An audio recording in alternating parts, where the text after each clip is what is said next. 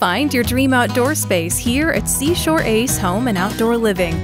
From top brands like Seaside Casual and Trex, turn dreams into reality at Seashore Ace Home and Outdoor Living, 96th Street, Stone Harbor.